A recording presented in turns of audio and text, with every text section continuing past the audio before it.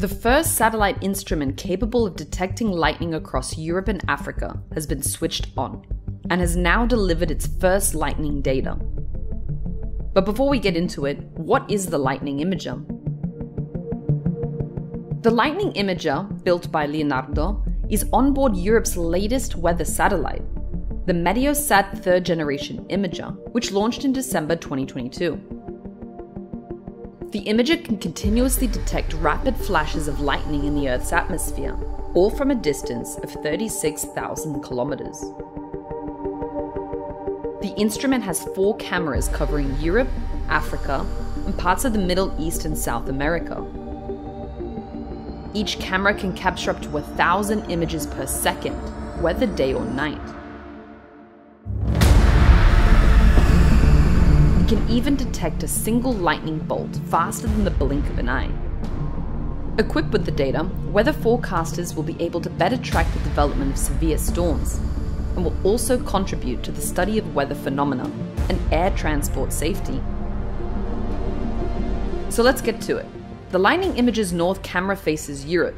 Here we can see lightning in early June 2023.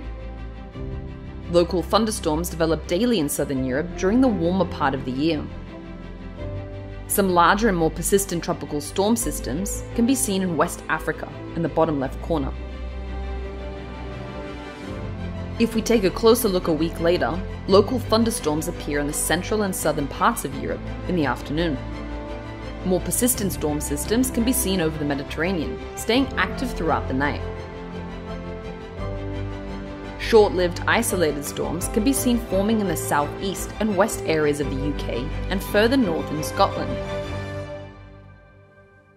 Very intense lightning activity occurs continuously in Africa, Local thunderstorms appear in the afternoon and disappear shortly after sunset, unless they develop into larger storm clusters and can stay active throughout the day and night. Central Africa is recognized as the most active lightning region in the planet. This animation shows the continuous lightning activity across the region.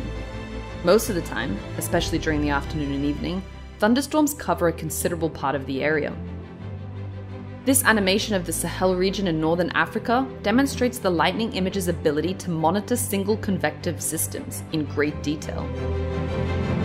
This close up view shows the westward movement and evolution of a big cluster of tropical thunderstorms. Lightning is more frequent in developing storms than in parts of the storm system that are already mature. The Lightning Imager's south camera observes the southern Atlantic Ocean, with the southernmost part of Africa visible in the bottom right. Much less lightning is visible here than the instrument's three other cameras because most of the field of view is ocean, whereas most lightning occurs over land. The west camera covers the Atlantic Ocean, a small part of Africa, and South America, this animation shows the intertropical convergence zone, where clusters of tropical thunderstorms are slowly moving from east to west. If the waters are warm enough, some of the larger storm clusters can develop into hurricanes, affecting the Caribbean and the east coast of the United States. Sun glint, the reflection of the sun from the ocean and smaller bodies of water on land, can also be seen. Each animation shown here contains a sequence of images created by collecting one minute's worth of lightning data, overlaid on a single image of Earth.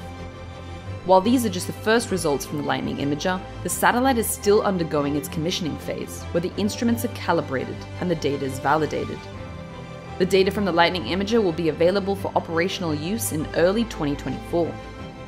For more information on the Lightning Imager and access to the animations, visit esa.int forward slash MTG. Thank you for watching.